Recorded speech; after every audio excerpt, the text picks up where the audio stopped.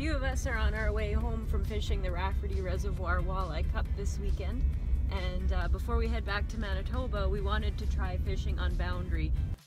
We're actually going to put uh, young Steve Sasaki up to the task of uh, taking us onto a new body of water that none of us have ever been on. And it's uh, a reservoir in Saskatchewan. And it's apparently, if not one of the only, it is the only uh, lake or reservoir that has largemouth bass in it in Saskatchewan. So we're going to basically just uh, unleash Steve on this lake and see what he can figure out.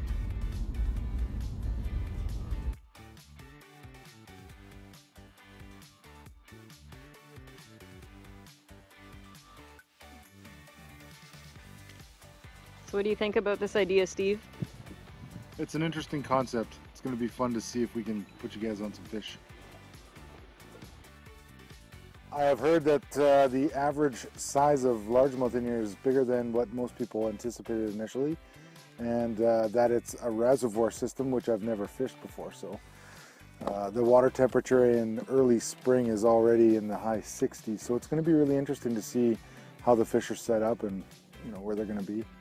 We invited you to come with us because you're a pretty accomplished bass angler and we're hoping that uh, we'll head out on the water today and we can tap into some of your knowledge to figure out where we're going to find largemouth on this body of water that none of us have ever seen before. Yeah, for sure. What are your initial thoughts? What are we going to look for? Well, knowing the, the water temperatures, I think what we're going to look for is um, isolated weed patches or weed lines uh, anywhere from the four to seven foot mark uh, with a little bit of warm water or uh, deep water close by. And we're going to see if we can, you know, we'll start at the weed edges and then move our way in deeper as we go.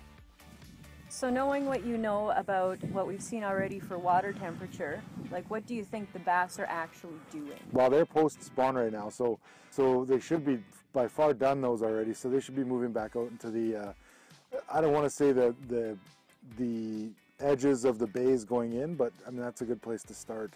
Uh, typically, when I when I bass fishing on a lake that I've never done before, the water temperatures is a good dictation of where they're going to be. And then what I do is I take it one step back from there, and I start at that point and work in.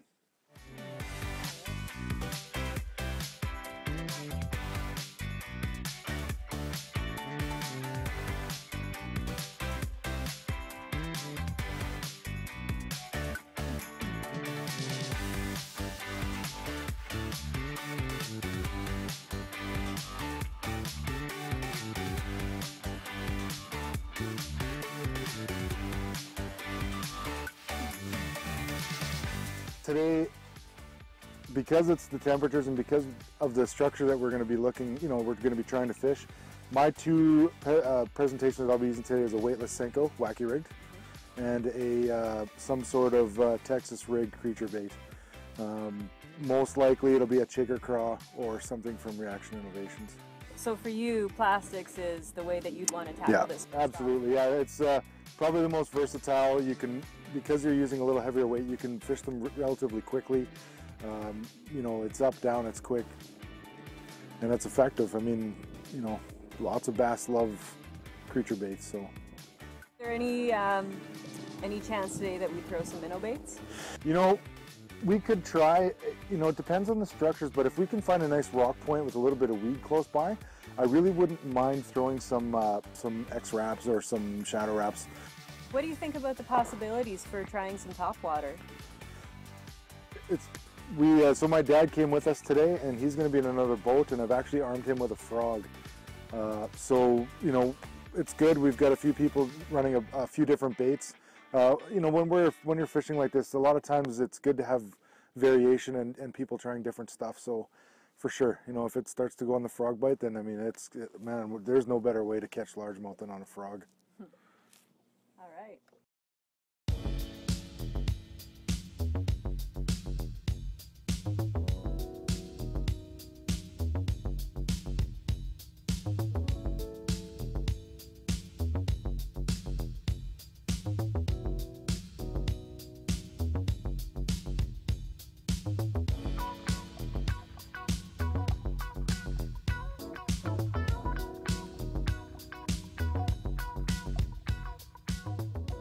Nice fish, you know, three pounder probably. It hit right on that fall. And it's funny, Bruce was talking to me about, um, you know, being so close. Obviously this fish wasn't very spooked. So let's get this back in the water.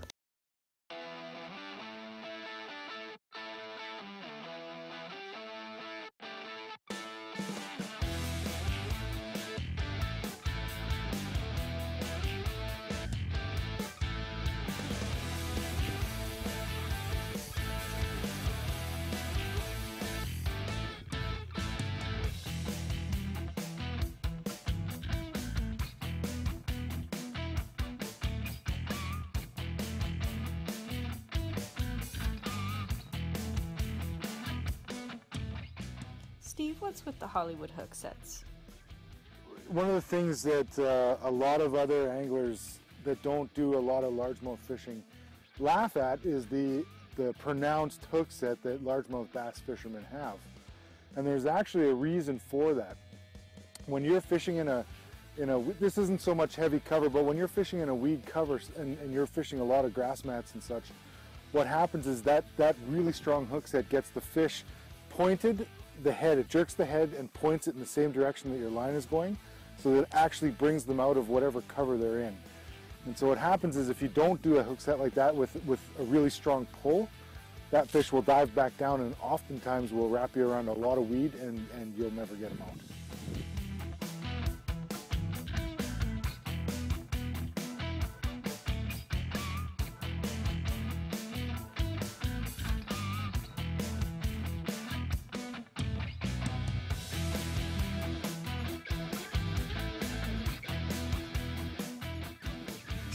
Nice weed line too like you know one of the things that anglers often get caught up in is you know seeing a shoreline or a weed line that looks really good and it goes for 600 yards.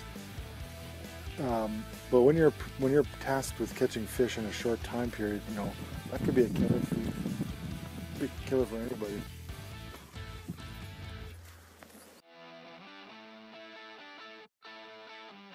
if you notice there's so much of this down the shoreline, oftentimes you're fishing for one or two fish and you know a mile long worth of shoreline. It's it's it's uh, not what they call a high percentage spot. So if you catch one, be happy. But if you were in tournament situation, uh, this is not something I would look at unless I knew that there were certain differences along the shoreline.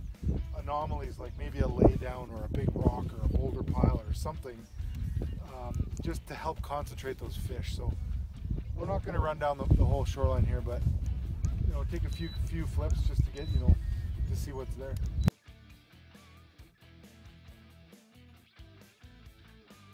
So Stephen, we're on new water to you. Uh, like the electronics have come a long way in a short period of time here. So what do you tend to focus on? Well, this this lake is a little different in, in, the way that it sets up. But you know, when you're driving along and and you know there is a, a 500 yard stretch of, of, shoreline where there's a lot of good looking weed cover, um, and you, don't want to fish it. One of the things that I used to do was, or still do, is I drive along that shoreline and look for any anomalies that are along that shoreline, whether it be a, you know, a sunken uh, log or a stump or maybe a boulder. And what it does is it just helps position those fish as, you know, we know that bass are opportunistic and they like to ambush their prey. So those sorts of things offer that uh, dynamic. And so side imaging on the Humminbird has become uh, almost a staple in my boat.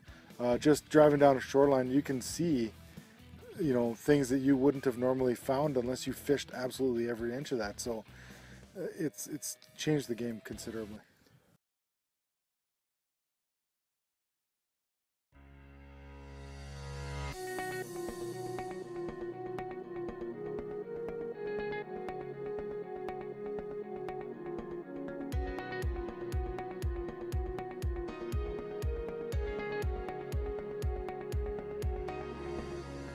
Putting your bait in the water quietly is actually key in a lot of times.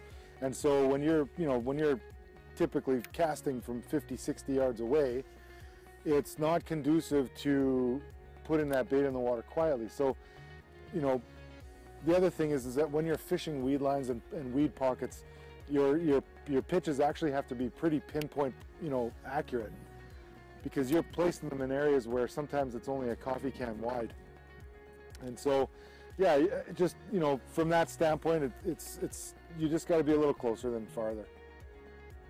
One thing I haven't seen is a lot of laydowns on this lake yet, a lot of structure other than weed lines. So maybe we'll have to go look for some uh, docks or something. Little.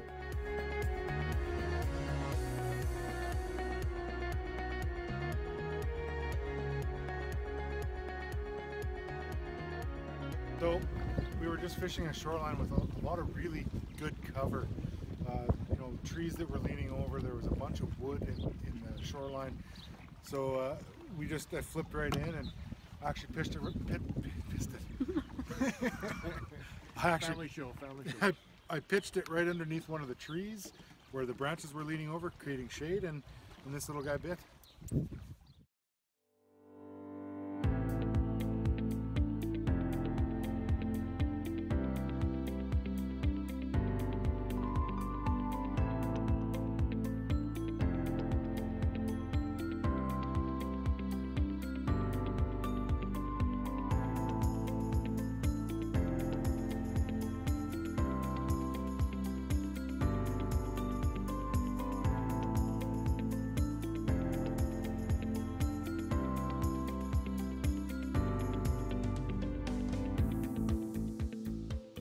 What a fun day of fishing at Boundary Dam Reservoir. We landed plenty of largemouth, mostly tucked tight into weed edges.